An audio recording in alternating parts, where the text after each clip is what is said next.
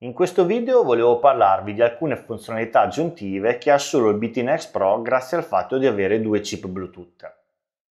Come gli altri interfoni può abbinare un telefono su volume più e prendere sia la parte mono che la parte stereo e anche un telefono su volume meno, ma del telefono che abbina su volume meno, se negli altri si può prendere solo la parte mono, in questo si può prendere anche la parte stereo.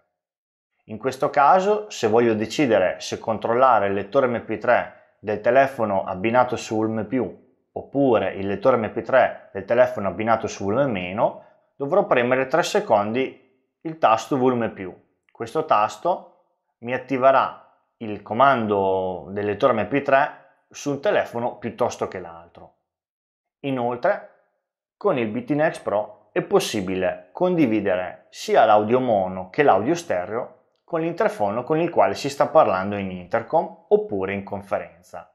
Ad esempio, premendo questo tasto qua, ascolterò la voce controllo sul volume meno. A questo punto darò play in modalità phone alla musica. Quando ascolto la musica potrò passare in modalità intercom e aprire la comunicazione con l'altro interfono. Appena ho aperto la comunicazione, la musica mi andrà in sottofondo con una piccola riduzione audio e io potrò continuare a parlare con il mio interlocutore ascoltando la musica in sottofondo.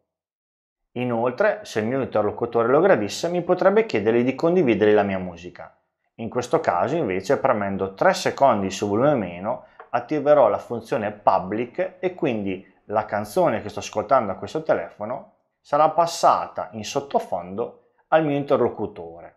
Se il mio interlocutore per qualche motivo non volesse più ascoltarla, sarà sufficiente premere di nuovo 3 secondi su volume meno per ascoltare la voce private e ritornare ad ascoltare la musica solo io mentre parlo con il mio interlocutore.